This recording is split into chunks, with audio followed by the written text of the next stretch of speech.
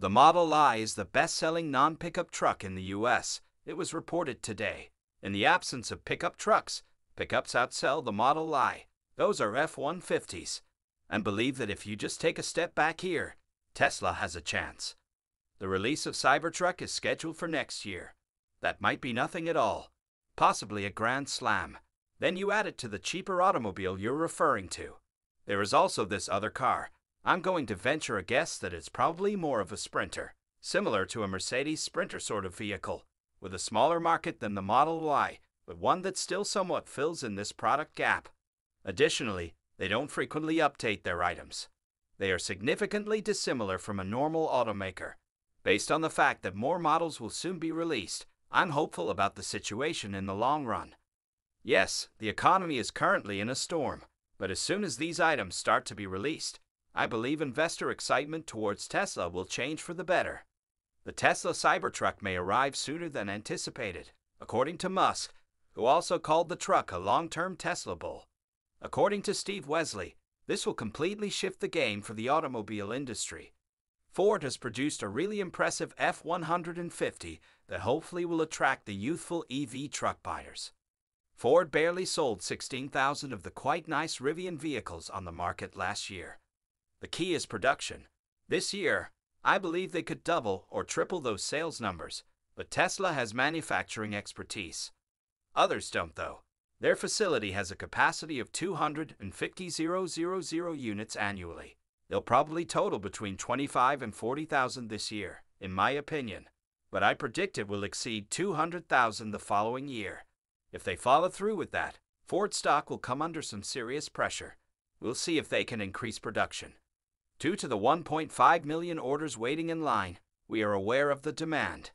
I believe Tesla's Cybertruck has the potential to change the game, even if only a third of them vanish. We shall see. Tesla produces some of the most amazing automobiles ever. As its main goal is to increase customer pleasure, Tesla's service quality in terms of manufacture Design, sales, and service is very good. Most consumers probably anticipate its cars to be better than average for this reason. There are a lot of hopes for Tesla's next models, including some that have already been released, such as the Roadster and the Cybertruck. Steve Westly believes that the Cybertruck may someday displace the truck business. And if Tesla is able to create enough of this car this year, it might have a big impact in the years to come. Learn more about Steve Westly's viewpoint. Hey folks, Glad to have you back at Tesla. The design, development, manufacturing, sales, and leasing of electric vehicles, as well as the sale of automotive regulatory credits, will all fall under Tesla's automotive section tomorrow.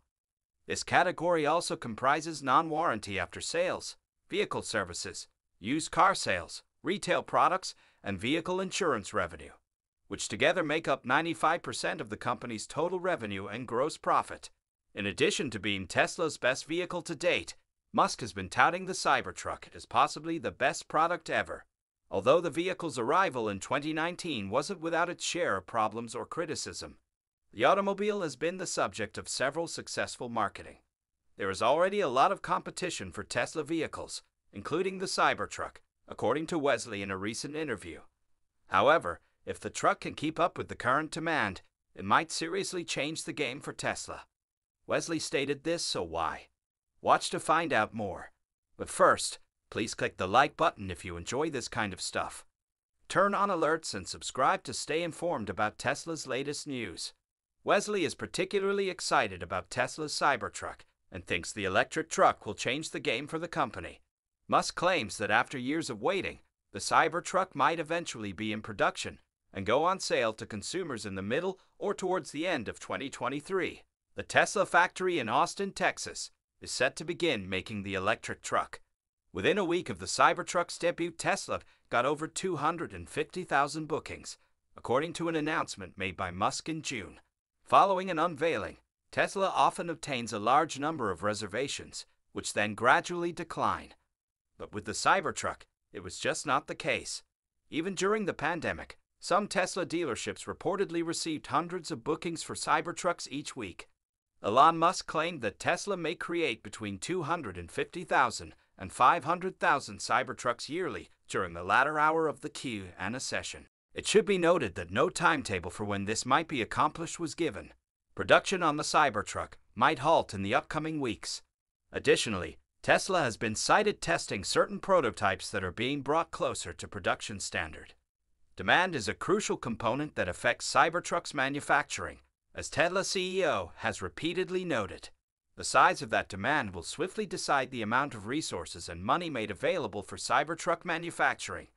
Even though it seems evident that the Cybertruck will have a tremendous amount of demand in the United States, which has historically been a truck dominated vehicle market, pre orders for Cybertrucks significantly increased sales in 2021.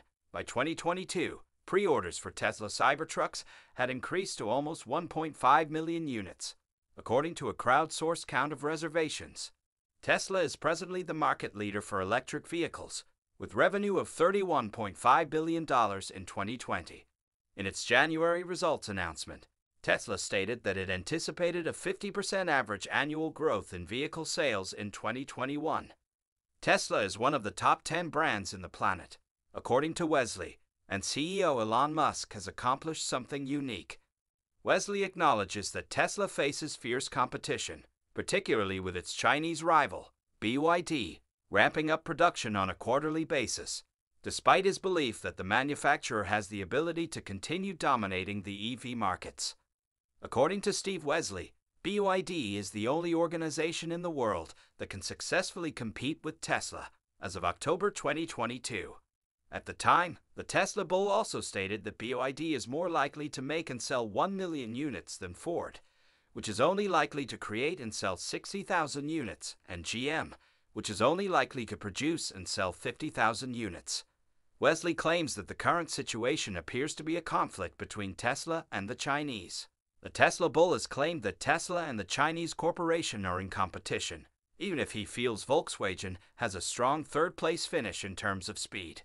On the strength of cars like the F Series, Bronco, and Mustang commercial trucks and electric vehicles, Ford recently overtook Toyota as the best selling brand in America in Q1, with vehicle sales of 456,972, up 10.7%. Ford outsold GM's trucks and vans by almost 27,000 units in the first quarter of this year, with 254,023 cars and vans sold. Ford's commercial transit van and the S Series pickup trucks helped to boost sales of Ford's trucks and the entire market, which includes pickups and vans, by 19.6%. In a recent interview, Steve Westly discussed this and mentioned that given Ford's recent successes, the Cybertruck may face tough competition when it is eventually released. He thinks that Tesla can only overcome this if it can create enough Cybertruck.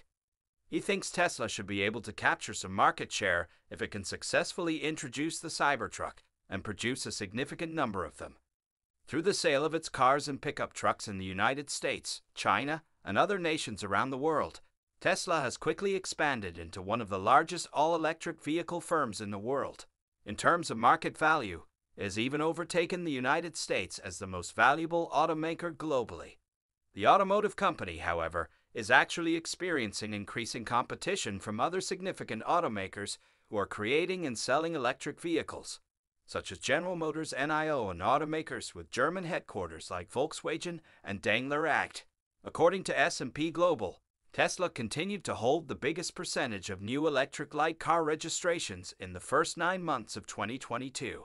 But thanks to the introduction of new EV models from electric vehicle startups and conventional automakers, that are now making their way into the EV market with the recent growth in the use of EVs. That number is now down from 79% in 2020. The level of competition in the market is rising very quickly. More than 10 million electric cars were sold worldwide in 2022. According to the latest edition of the IEA's yearly Global Electric Vehicle Outlook, and sales are anticipated to increase by another 35% this year to reach 14 million.